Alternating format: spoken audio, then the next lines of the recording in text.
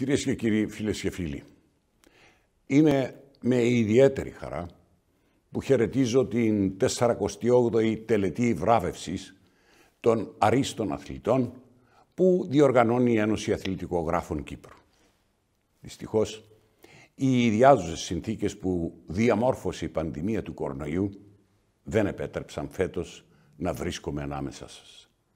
Ωστόσο, είμαι ευτυχής που μέσω του παρόντος μηνύματος μου δίδεται η ευκαιρία να εκφράσω τον θαυμασμό αλλά και την εκτίμηση μου σε όλους τους αθλητές του τόπου μας για τα υψηλά επίπεδα αγωνιστικότητας, τις επιδόσεις και το υποδειγματικό ήθος που επιδεικνύουν εκπροσωπώντας επάξια την πατρίδα μας.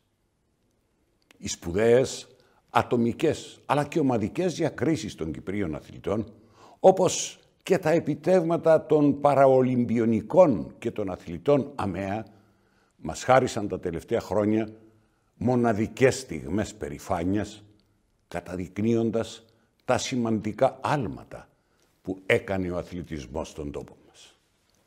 Αυτόν άλλωστε το στόχο της αναβάθμισης, ανάπτυξης και συνεχούς στήριξης του κυπριακού αθλητισμού είναι που υπηρετεί η στρατηγική που υιοθετούμε για τον εν λόγω τομέα. Σε συνεργασία με τον κατεξοχήν αρμόδιο φορέα, τον Κυπριακό Οργανισμό Αθλητισμού και σε στενή συνεργασία με την Κυπριακή Ολυμπιακή Επιτροπή, συνεχίζουμε με συνέπεια την υλοποίηση των στοχευμένων σχεδιασμών μας. Σχεδιασμοί οι οποίοι ενδεικτικά μεταξύ άλλων αφορούν την χάραξη της εθνικής στρατηγικής για τον αθλητισμό, η οποία συμπεριλαμβάνει τον εξυγχρονισμό του ίδιου του Κυπριακού Οργανισμού Αθλητισμού προς την πλήρη εναρμόνιση του με την Ευρωπαϊκή Αθλητική Πολιτική, την ενίσχυση των προγραμμάτων αναπτυξιακού αθλητισμού, επιτυχάνοντας την συνεχώς αυξανόμενη εμπλοκή μαθητών στον αγωνιστικό αθλητισμό, την υιοθέτηση του νέου σχεδίου επαγγελματικής αποκατάστασης αθλητών υψηλής επίδοσης, το οποίο υπήρξε πάγιο και διαχρονικό αίτημα των αθλητών πρωταθλητών μας, την αύξηση των ε, επιχορηγήσεων των αθλητών, των σωματείων και των ακαδημαϊών, την εντατικοποίηση των ελέγχων των ομοσπονδιών για την όσο το δυνατό πιο ορθή και αποτελεσματική διαχείριση των οικονομικών τους σπόρων. Προς αυτή την κατεύθυνση, όπως γνωρίζετε, ο ΚΟΑ έθεσε την εφαρμογή, σε εφαρμογή τον κώδικα καλής διακυβέρνησης, ενώ βρίσκεται στην διαδικασία εκπόνησης νέων κριτηρίων επιχορήγησης αθλητικών οργανισμών στην βάση της χρηστής διοίκησης. Ένα άλλο στοιχείο είναι η ολιστική επίλυση χρόνιων προβλημάτων αθλητικών εγκαταστάσεων. Αρκεί να σας αναφέρω ότι από το 2018 και εντεύθεν έχουν ολοκληρωθεί ή βρίσκονται υπό εξέλιξη 62 συνολικά έργα ύψους πέραν των 50 εκατομμυρίων ευρώ. Ένα άλλο στοιχείο είναι η θεσμοθέτηση της Επιτροπής Διοντολογίας και προστασίας του αθλητισμού στην βάση του νόμου για την καταπολέμηση της χειραγώγησης αθλητικών γεγονότων. Την εφαρμογή σειράς στοχευμένων μέτρων για την καταπολέμηση και καταστολή της βίας στους αθλητικούς χώρους. Φίλες και φίλοι, το 2020 χαρακτηρίστηκε από μαζικές ακυρώσεις κορυφαίων αθλητικών διοργανώσεων ανά το παγκόσμιο με κυριότερη την αναβολή των Ολυμπιακών Αγώνων του Τόκιο.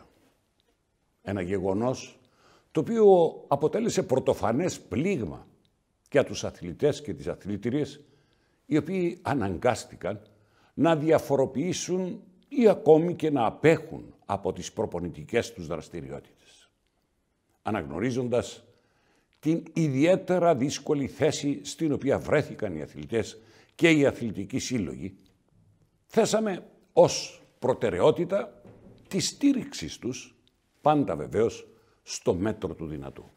Μέσα σε αυτό το πλαίσιο, τα πλεονάσματα από τον προϋπολογισμό του ΚΟΑ για το 2020 ύψους μισού εκατομμυρίων ευρώ κατανεμήθηκαν στα αθλητικά σωματεία στην βάση συγκεκριμένων αθλητικών κριτηρίων με στόχο την οικονομική του στήριξη.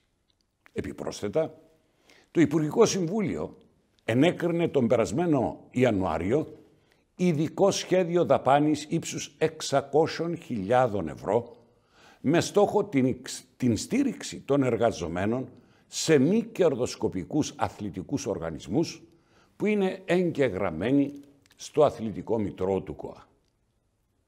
Επιπλέον, έχει διατεθεί η οικονομική στήριξη που παρήχε μέχρι στιγμής, που παρήχετο μέχρι στιγμής, επιπλέον δηλαδή, η χορηγία ύψους 300.000 ευρώ στους αθλητές που θα συμμετέχουν στους επικείμενους Ολυμπιακούς Αγώνες του Τόκιο. Κυρίες και κύριοι, φίλες και φίλοι, πρωταθλητές και πρωταθλήτηρες, βραβευόμενοι και βραβευόμενες. Το πείσμα, ο ζήλος και η ευρηματικότητα που επιδείξατε. Και τόσο εσείς όσο και οι προπονητές σας για τη συνέχιση των αθλητικών σας δραστηριοτήτων κατά τη διάρκεια της πανδημίας δίνει στον καθένα μας ένα ξεχωριστό μήνυμα αισιοδοξίας. Το μήνυμα πως παρά τις όποιες αντίξουες συνθήκες αγωνιζόμενοι με αλληλεγγύη στο τέλος θα βγούμε νικητές. Αυτό άλλοτε μας δίδαξε και η χρονιά που διανύουμε. Πως δεν πρέπει να σταματούμε παρά τα όποια εμπόδια, να συνεχίσουμε να αγωνιζόμαστε, να δημιουργούμε, να υλοποιούμε, αλλά και να θέτουμε νέους στόχους. Καταλήγοντας, θα ήταν παράληψη αν δεν συνέχερα τους βραβευόμενους, ως επίσης το σύνολο των υποψηφίων στις διάφορες κατηγορίες. Ιδιαιτέρως, θα ήθελα να συγχαρώ την Ένωση Αθλητικογράφων Κύπρου για την άρτια διοργάνωση και καθιέρωση του θεσμού των βραβείων. Ένας θεσμός βασισμένος στις αρχές και αξίες της ευγενούς άμυλας και του εφαγωνίζεστε που πρεσβεύει ο αθλητισμός. Εύχομαι σύντομα να αντεπεξέλθουμε και αυτής της δοκιμασίας και στην επόμενη διοργάνωση, όπως και στους αθλητικούς χώρους, να είναι μαζί μας το φύλαθλο κοινό. Σας συγχαίρω και πάλι και σας ευχαριστώ θερμά.